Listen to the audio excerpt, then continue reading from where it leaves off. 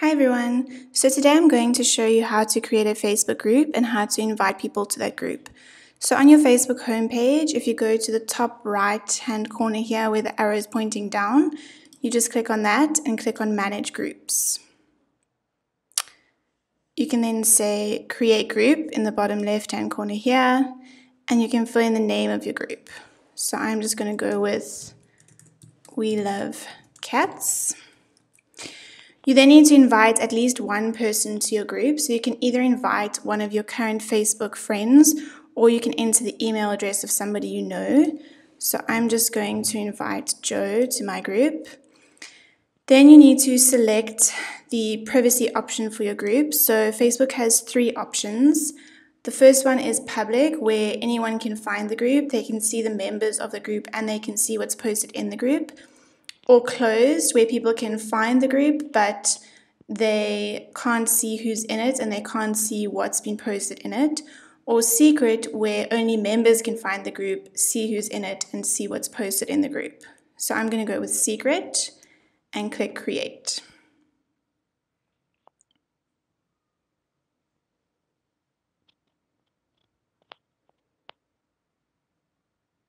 Okay, so here's my group. One of the first things you're going to want to do is upload a cover photo. This can just be an image that represents what your group is about, or it can include some details about your group or information about upcoming events. I'm just going to include a photo that kind of depicts what the group's about. So I'm going to select a photo of a cat and make that my header image. Okay, once that's done and you're happy with the positioning, you can just click Save. Then once you're done uploading your cover photo, you can come down and include a description for what your group is about.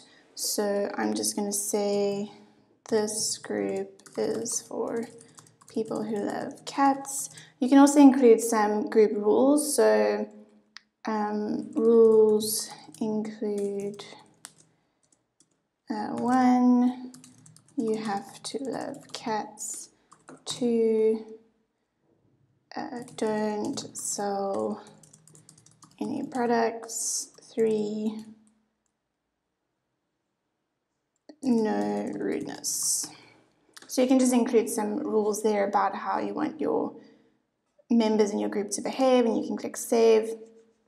You can add locations, and then there's a whole bunch of other options. So once your group gets going, you'll be able to monitor your members over here. You can add events, which will then appear on a calendar over here.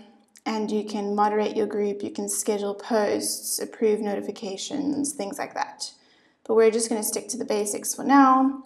So then when it comes to inviting people to your group, once again, you can either enter the name of someone you are friends with on Facebook or their email address. And you can also add a note here if you'd like. So you can add a note as to why you are inviting them to the group. And you'll see that Facebook will also start suggesting friends here, and you can just click invite member.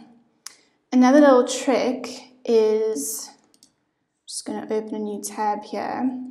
If you'd like to connect your group to one of your Facebook pages, you can then invite everyone who has liked your page. So if I go to pages over here, so if I come to pages and I come to my page,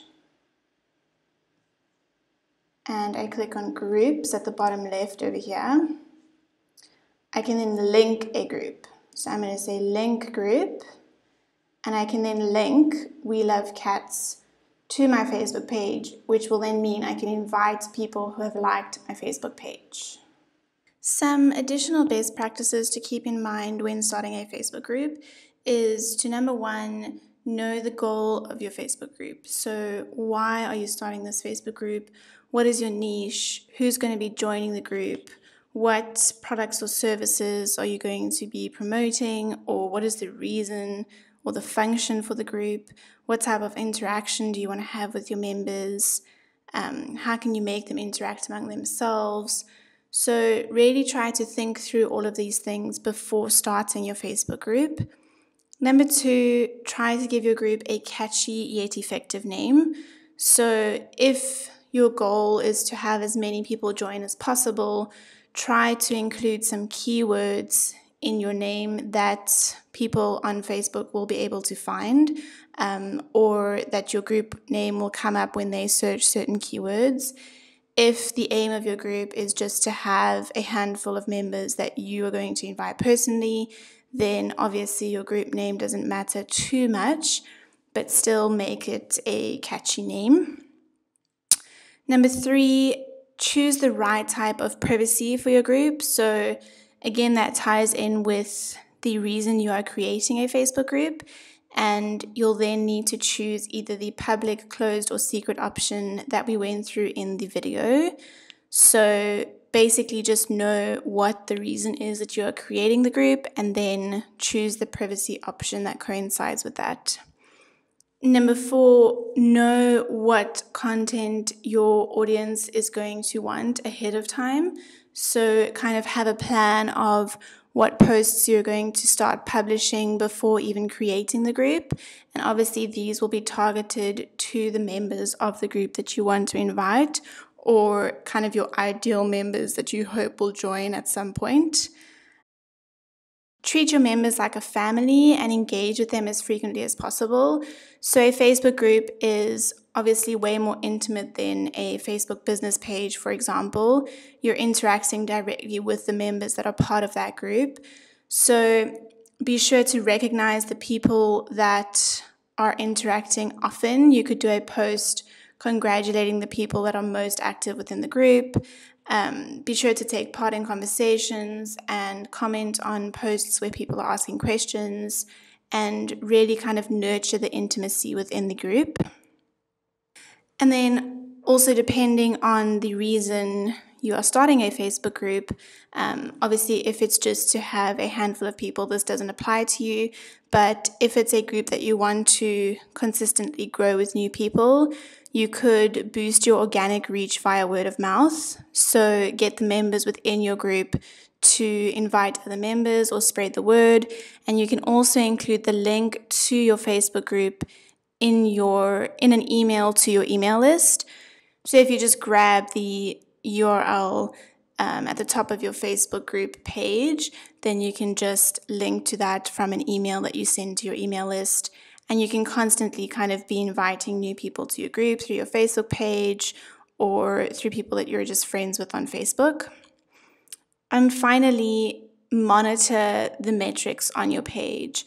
So, kind of see which posts people are engaging with the most, keep track of the demographics of your audience, and obviously replicate the posts that are working the best.